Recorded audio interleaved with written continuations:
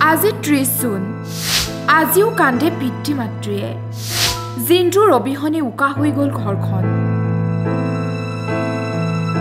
ঊনৈছশ নিৰান্নব্বৈ চনৰ আজিৰ দিনটোতে শ্বহীদ হৈছিল কেপ্টেইন জিন্তু গগৈ। সোতৰ নং গাৰৱাল ৰাইফলছৰ কেপ্টেইন আছিল শ্বহীদ জিন্তু গগৈ। সেই সময়ত বাটালিক ছেক্টৰৰ জুবাৰ কমপ্লেক্স কালাপাথৰ ৰিক্স লাইন শত্ৰুৰ হাতৰ পৰা মুক্ত কৰিবলৈ দায়িত্ব পাইছিল জিন্তু গগৈয়ে। ঊনৈছশ নিৰান্নব্বৈ চনৰ ঊনত্ৰিছ আৰু ত্ৰিছ জুনত সেই দায়িত্ব পালন কৰোঁতেই তেওঁ শ্বহীদ হয়। ঊনত্ৰিছ বছৰ পূৰ নহওঁতেই প্ৰাণ হেৰুৱাবলগীয়া হয় এই বীৰ জোৱানজনে। শ্বহীদ হোৱাৰ খবৰ পোৱাৰ পাছতেই ক'ব নোৱাৰা হৈ পৰিছিল মাতৃ।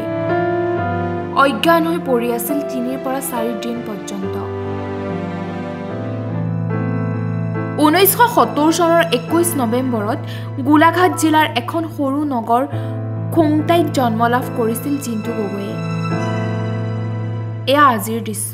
জোৱানজনৰ মৃত্যুবাৰ্ষিকী উপলক্ষে তেওঁৰ সমাধিস্থলীত পিতৃ মাতৃৰ লগতে স্থানীয় একাংশই কৰিছে ভগৱানৰ ওচৰত প্ৰাৰ্থনা। য'তেই আছে যেন তাতেই কুশলে থাকক তেওঁ।